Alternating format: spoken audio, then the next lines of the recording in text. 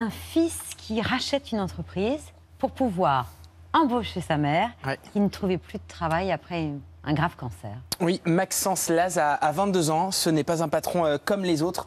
En 2020, il s'endette pour acheter une entreprise de peinture à Laval. Un rachat en forme de cadeau pour sa mère, Christelle, peintre en bâtiment, en rémission inespérée d'un cancer très agressif. Euh, Diagnostiqué il y a 7 ans, elle cherchait désespérément à retravailler. Mais pendant plusieurs années, elle a essuyé refus sur refus en raison de son état de santé précaire. Une situation devenue insupportable pour Maxence. On attendait vraiment avec impatience de retravailler. Ça mangeait des refus partout et petit à petit, dans sa tête, faire une place à se dire je vais rester au chômage le reste de, ma carrière. Euh, Je connais ma maman, je sais où on allait aller avec ça. Elle m'a élevé, elle m'a éduqué, elle m'a fait manger, etc. Et bah, je lui relance l'appareil finalement, tout simplement. Christelle a, bien essayé de dissuader son fils de prendre un tel risque financier, mais il était déterminé et malgré son jeune âge, il n'était pas le plus stressé des deux. Je me dis que là, on n'a pas intérêt de se planter, quoi. Parce que, euh, comme, je vous, dis, c'est un engagement, euh, ça peut être du bon comme du mauvais. J'arrive à 50 ans, donc euh, si, euh, ça se casse la figure, bon, voilà, je suis en fin de carrière. hein. Mais lui, à 20 ans, euh, ouais, j'ai j'ai mal dormi quelques, quelques semaines quand même.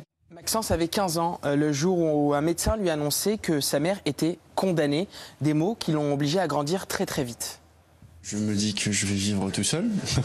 Donc, euh, ben, on pense logement. J'étais encore à l'école à l'époque. C'est un bazar pas possible dans ma tête à ce moment-là. Je me disais que ma maman a un cancer de phase 4 qui évolue beaucoup trop vite euh, par rapport à la moyenne et qu'il faut pas se leurrer, quoi. Chaque moment aujourd'hui, tu profites.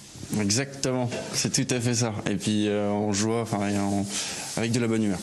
Euh, Désormais chef d'entreprise, Maxence lutte contre les préjugés sur l'emploi des seniors et des personnes en rémission. Selon les chiffres de la Ligue euh, contre le cancer, plus de 30% des salariés ayant souffert d'un cancer n'ont toujours pas retrouvé d'emploi deux ans plus tard. Maxence met justement un point d'honneur à les recruter. On embauche des gens, euh, bah, finalement, qu'on sélectionne euh, par euh, le biais de leur parcours de vie aussi. C'est très important pour nous, on s'y tient. Euh, des gens euh, qui arrivent, des seniors principalement, et puis des jeunes qui veulent se tester à la peinture aussi, et puis bah, des gens qui sortent de maladies aussi. Voilà. Chez Maxence, on adapte les gestes et les horaires au traitement ou aux handicaps des salariés, où on recrute une femme senior à qui il manquait trois ans d'annuité pour avoir une retraite à taux plein.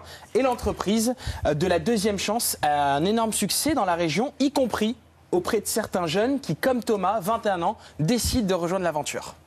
Je trouvais que c'était une belle démarche euh, à 22 ans d'aider sa maman. Il n'y a pas beaucoup de gens aujourd'hui qui tentent des choses, euh, on va dire, plus dans le social. Ça ne fonctionne pas comme ça dans les grosses entreprises où c'est un peu chacun pour soi. Le but, c'est le profit. Là, le but, c'est plus d'avancer tous euh, et bah, d'améliorer notre vie à tous. quoi. J'entendais Bruno Tertrec qui disait mais c'est génial. C'est vrai que cette histoire est formidable, euh, Bah, Bruno. écoutez, surtout, euh, après toutes les horreurs qu'on a vues tout à l'heure, je trouve que c'est très bien de terminer par ce qui est une, une très belle histoire, un exemple. Et puis je pense que lui faire de la publicité comme euh, vous le faites, euh, ça va probablement les aider et peut-être aider d'autres gens à, à faire de même. J'apprends qu'on est un senior à 50 ans, alors ça, ça me déçoit un petit peu. Mais à part ça, c'est quand même une Ah, vous n'étiez pas au courant, Bruno Non, je suis pas au courant. Moi, j'avais intégré.